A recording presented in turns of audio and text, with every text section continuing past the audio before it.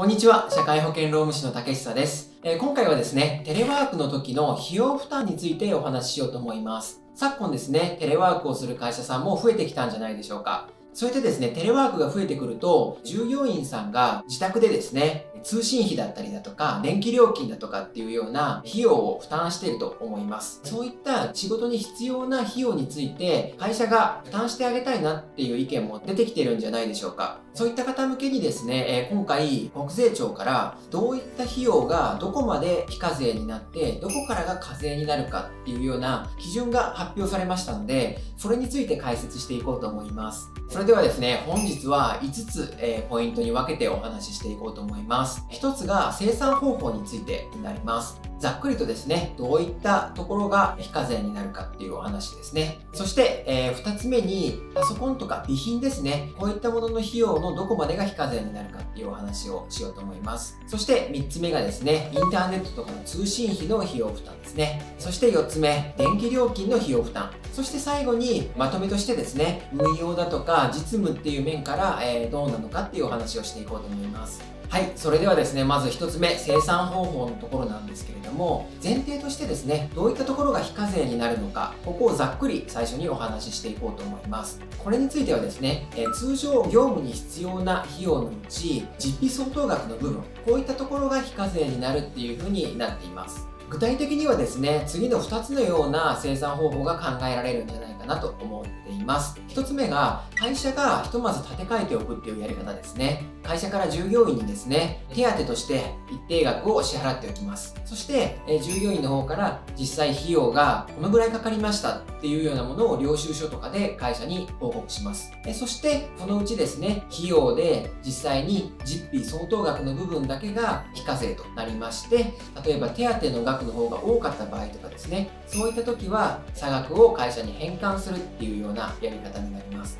この時にですね、例えばその差額を返還しなかったとしても、実費の相当部分については非課税となります。ただしですね、その超えた部分、返還しなかった部分については課税対象となってしまいます。そしてもう一つの方法が、従業員が立て替えておくやり方ですね。従業員が一旦自分で費用を負担して、そのうちですね、実費相当額がこのぐらいでしたっていう報告を会社にして、その実費相当額を後から会社ににもらうっていうようなやり方ですね。そうするとですね、ここまでで実費相当額が非課税になるんだなっていうのはなんとなく分かっていただいたと思うんですけれども、じゃあその実費相当額っていうのはいくらなのかっていうのがわからないと思います。ここについてですね、各項目ごとに解説していこうと思います。項目の一つ目になるんですけれども、パソコンなどのですね、備品の費用負担についてお話ししようと思います。ここについてはですね、実費相当額がいくらなのかっていうのは分かりやすいかなと思います。パソコン買えば、そのパソコンの額の領収書が出てくるわけなので、それを会社に出せばですね、業務に必要な実費相当額っていうのは簡単に算出できるかなと思います。ただここで一つ注意が必要なのが、あくまでも貸与、従業員に貸すっていうものであって、従業員に支給してしまうと、それは非課税とはみなされなくなってしまいます。当然といえば当然かと思います。従業員に支給してしまって、所有権が従業員に移ってしまうと、もうそれはですね、費用負担というよりも給与に近い形になってくると思いますので、そういう支給ではなくてですね、あくまでも貸与、テレワークが終わったら、その備品を会社に返さなきゃいけないっていうルールはしっかり守るようにしておきましょう。はい。そして次、ポイントの3つ目ですね。インターネットなどの通信料の費用負担になります。こちらはですね、先ほどのパソコンと違って、なかなか業務に必要な実費相当額っていうのがいくらなのか分かりにくいかなと思います。こちらについてですね、今回ですね、国税庁からこういった計算式で算出すれば合理的な実費相当額が計算できますよっていうような計算式が発表されました。そちらについてお話ししていこうと思います。こちらの算式なんですけれども、まずですね、1ヶ月その月にかかったインターネットの通信料、こちらの通信料にですね、その月のテレワークをした日数の割合をかけます。つまり、その月の歴日数分のその月のテレワーク日数ですね。これをかけて、さらに2分の1をかけるっていう計算式になります。ちょっとですね、これだけだと分かりにくいと思いますので、えー、具体例を挙げながら解説していこうと思います。例えばですね、1ヶ月の通信料金が1万円かかりました。そして3月31日ある月ですね。3月に20日間テレワークをしましたっていうような場合で計算してみましょう。そうすると、まず1万円にですね、31分の20日をかけるっていうことになります。先ほどのですね、1ヶ月の総日数分のテレワークをした日数なので、今回で言えば31分の20になります。1万円に31分の20をかけて、さらに2分の1をかけます。そうすると、3226点、点点点っていうような形になってくるかと思うんですけれども、1円未満の端数は切り上げることになってますので、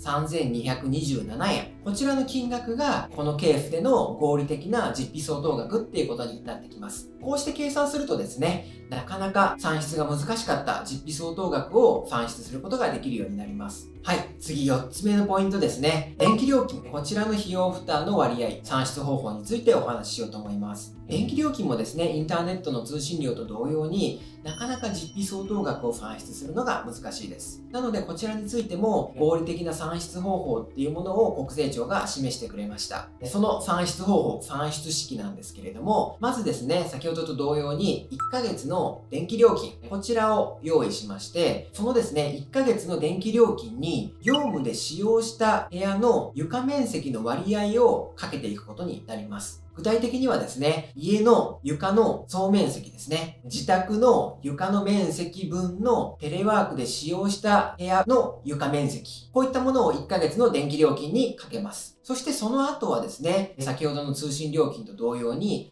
1ヶ月の総日数分のテレワークをした日数、こちらをかけまして、最後に2分の1をかけるっていうやり方になってきます。先ほどのインターネットの通信料金でも少し複雑だったんですけれども、電気料金ではさらに複雑になる。特にですね、やっぱり床面積っていうのがちょっと厄介な数字になってくるかなと思います。はい。ここまででですね、具体的な算出方法だったりだとか、どういったものが実費相当額になるのかっていうようなお話をしてきました。これを踏まえてですね、じゃあ実務でどうやって運用していけるのかっていうお話をしていこうと思います。まずですね、パソコンとかの備品については、まあ比較的算出方法も簡単なので、なんとかなるんじゃないかなと思っています。ただですね、インターネット通信料だとか、電気料金っていうものについては、算出方法がなかなか複雑になってきます。そして、従業員にも協力を求めなければいけません。自宅の電気料金の明細を持ってきてもらったりだとか、えー、自宅の床面積を測ってですね、えー、報告してもらったりっていうことが必要になってきます。そうすると、会社にそういうものは教えたくないっていう従業員さんも出てくるんじゃないかなっていうような懸念点もありますね。そして、会社の担当者にしても、通常の給与計算ですら大変なのに、こういった費用負担割合とか、合理的な実費相当額の算出まで加わってくるっていうことになると、なかなかですね、業務が大変になってくるんじゃないかなと思います。こういった面を踏まえると、